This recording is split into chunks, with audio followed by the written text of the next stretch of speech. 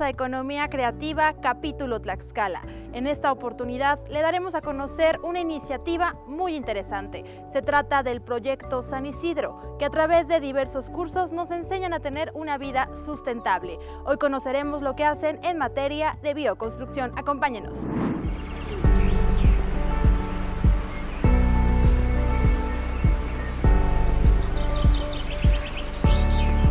Inmerso en el bosque se encuentra el proyecto San Isidro, Educación Permanente. Bajo el canto de las aves y el murmullo de los animales que ahí habitan, este espacio formativo ofrece a las personas de la comunidad y el público en general cursos, talleres y actividades que animan a los participantes a explorar diversas formas de construir, comer, cosechar, educar y vivir en armonía con la naturaleza. Estamos en el proyecto San Isidro, aquí en el municipio de Tlaxco. Y fíjese, le voy a contar sobre este proyecto que es muy importante e innovador, ya que engloba diversas áreas como la bioconstrucción, la alimentación saludable, la restauración de los suelos y en general una vida sostenible. Y para hablarnos de este importante proyecto tenemos a Alejandra Caballero. Y pues Alejandra, platícanos qué es el proyecto San Isidro. Bueno, pues el proyecto San Isidro es básicamente una forma de vivir ¿no? Es, es, una, es un proyecto que es resultado de una experiencia de vida y de un sueño por transformar el, medio ambiente, por transformar el, el, entorno en el que nos encontrábamos, que estaba muy deforestado. Y entonces, bueno, esto viene desde hace muchos años. Cuando mi papá era un niño le tocó ver pues mucho del, del, asunto de la tala de los bosques, ¿no? cuando entraron las compañías madereras alemanas y eh, norteamericanas. Y entonces, bueno, eh, haciendas enteras que se deforestaron para eh, convertirse en tierras de labor. Y eso pues lo marcó como niño y se dedicó a buscar alternativas para revertir esa tendencia. ¿no? Entonces decidió sacarnos del, medio urbano, traernos al, campo, justo cuando era la tendencia al revés, ¿no? cuando todo el mundo quería irse a las ciudades y también era un momento en que la palabra ecología no existía, en que no había subsidio para los ecologistas, que, ahora, que ahora están de moda y todo el mundo quiere ser ecologista. Este, y decidió venir y hacer un experimento en este lugar para restaurar el suelo, para repensar las maneras de educar a los niños. Aunque la inspiración surgió en los años 50 con su padre, don Carlos Caballero Zamora, fue hace 25 años cuando Alejandra instituyó formalmente el proyecto San Isidro.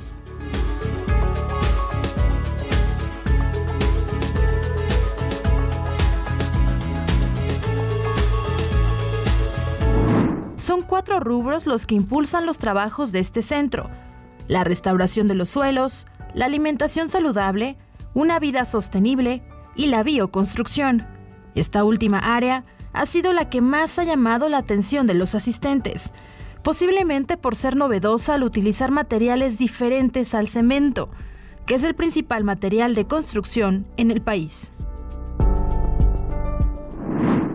La bioconstrucción, nos explica Alejandra Caballero, es un método de edificación que se basa en un proceso que logra reducir la huella ecológica, bueno, la bioconstrucción es una manera de construir respetando la naturaleza. ¿sí? Es, es una, como dice una amiga, no es una forma de hacer, es una forma de ser.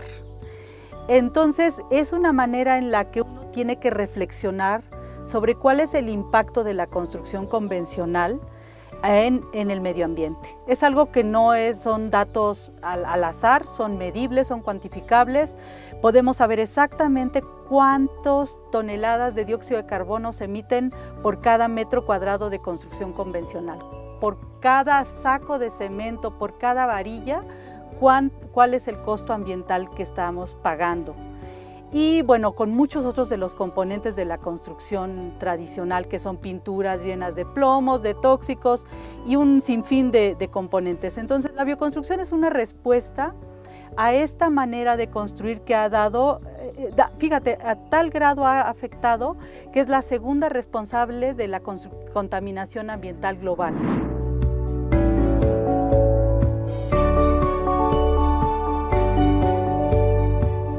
Y la bioconstrucción no se queda solamente en las paredes de los hogares, también tiene que ver con los residuos que se generan, por ejemplo, las aguas grises y su tratamiento. Para hablarnos de esto se encuentra Lizeth Gutiérrez.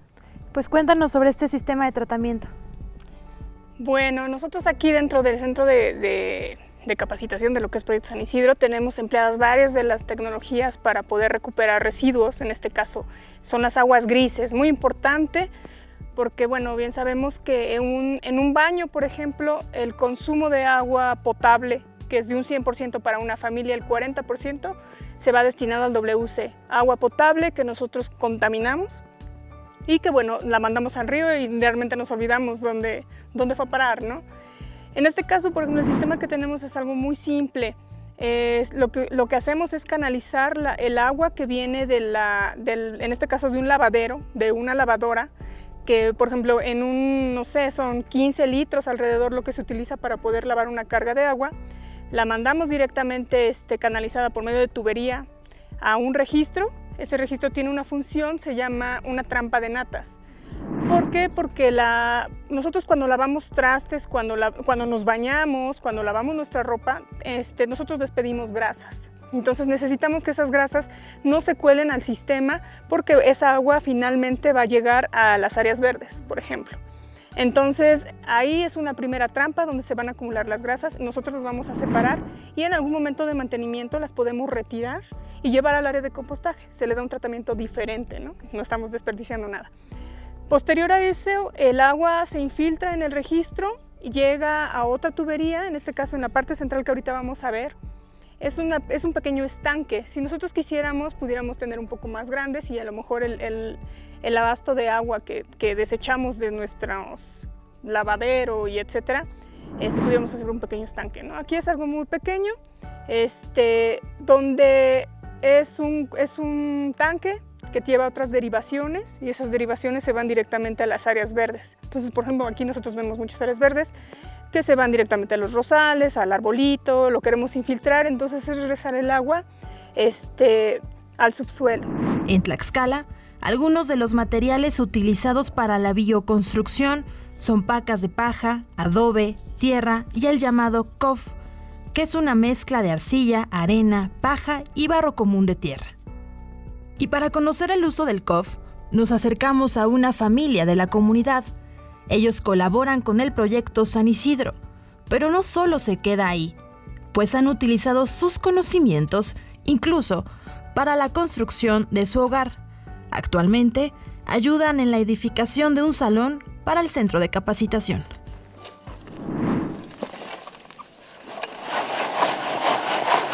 Vamos a tirar esto. Por ahí nos comentaron que también en su casa aplica precisamente estos métodos de bioconstrucción. Si nos puedes también platicar sobre la construcción precisamente de lo que ya es tu hogar.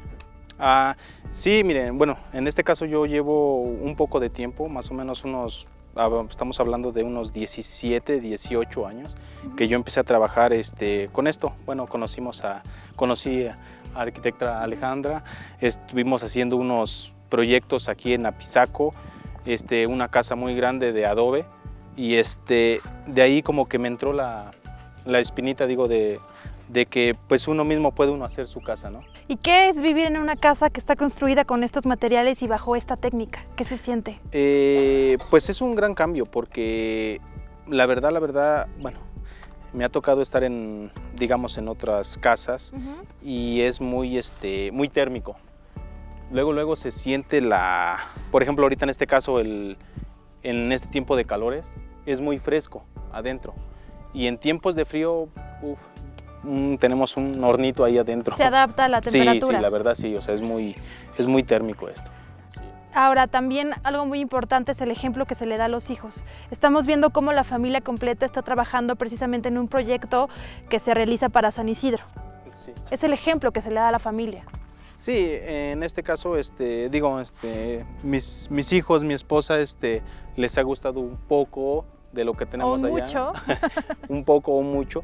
Y, este, y sí nos, bueno, les gusta, pues en primera como, es como juego para ellos.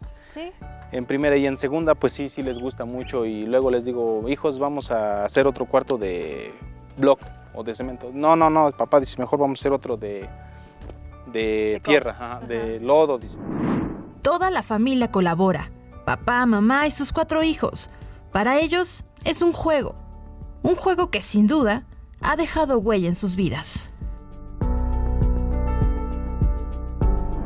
Y estamos con Ángel, de 11 años de edad. Él pertenece a la familia Vadillo y nos va a explicar cómo se realiza el COF. ¿Verdad, Ángel? Explícanos.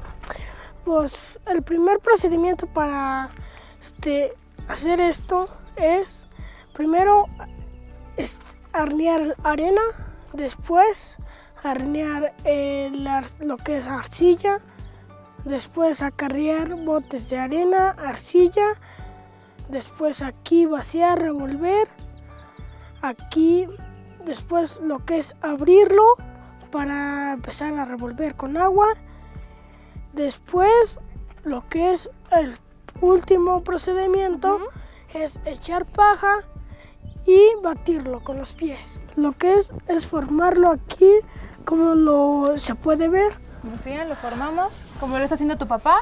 Así como lo está haciendo aquí muy bien, nos explicaba que se le tienen que hacer hoyos. Hoyos para, para que seque, porque si no este, tarda para secarse, como tiene suficiente agua. Y por ejemplo es esto, sí. Muy bien, gracias Ángel. Y bueno, ellos son el ejemplo de que este tipo de técnicas como la bioconstrucción pueden ser utilizadas en las familias. La familia Vadillo es un ejemplo de que la modernidad y la tecnología no han mermado en su forma de vida. Ellos viven en el campo y conviven con el medio ambiente de forma natural. Pero, para los que vivimos en la ciudad, ¿cómo podemos lograr este acercamiento? Para el investigador y coordinador del programa de sustentabilidad de la Universidad del Altiplano, Darío Flores, los valores sociales desde la infancia son parte fundamental. debemos partir desde la formación de la persona. Si nosotros no nos respetamos mutuamente, difícilmente vamos a respetar a otro, a otro ser vivo.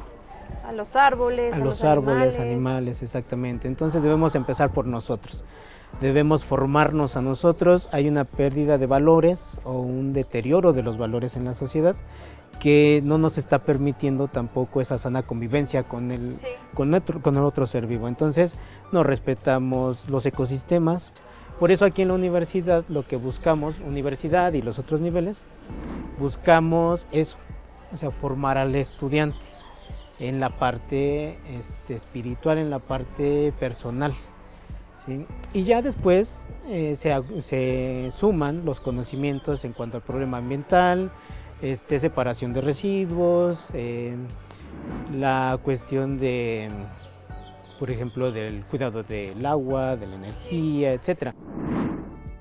Francisco Gómez Rábago, investigador ambiental, coincide con Darío. El cuidado del medio ambiente debe ser un auténtico estilo de vida. ¿Será que también en ocasiones estos temas ambientalistas se están convirtiendo en una moda más que en un estilo verdadero de vida? Por lo pronto, está en, auge eso, ¿no? Eso sí está, como decir, quiero ser diferente y ya me salgo en la televisión siendo diferente. Pero cuando se va a la manera de vivir es cuando realmente cambia el asunto. Porque es radical, es decir, ya no voy a usar tanta agua, ya no voy a usar tanta electricidad, ya voy a vivir con lo más. Es, es de vida cotidiana, no es nomás de salir en la tele, ¿no? Tiene que estar con, con unas tres que se llaman, ¿no? Lo primero es tener la conciencia de que está pasando en el planeta. La segunda, ser congruentes, ¿no? Es decir, así como veo que está pasando eso, así tengo que actuar en, medida hacia, digamos, de reversa. Y el compromiso, ese es el más difícil. Es decir, ahora me toca, con mi compromiso, con mi manera de vivir, pues pensar que puede impactar, que puede ser un ejemplo no tan feo, pues, pues a lo mejor un buen ejemplo de cómo sí podemos vivir con, con menos, ¿no? Tranquilamente vivir con menos. No vivir con más, no quiero más, quiero más, quiero más, ¿no? Con lo suficiente. Con lo suficiente, pero a veces ni siquiera sabemos qué es lo suficiente. Ejemplos como la familia Vadillo se replican poco a poco en Tlaxco, gracias a la incansable labor de los integrantes del proyecto San Isidro que imparten técnicas antiguas para el desarrollo de las personas y las comunidades, que consideran lo que el medio ambiente ofrece, siendo parte de él y no invasores.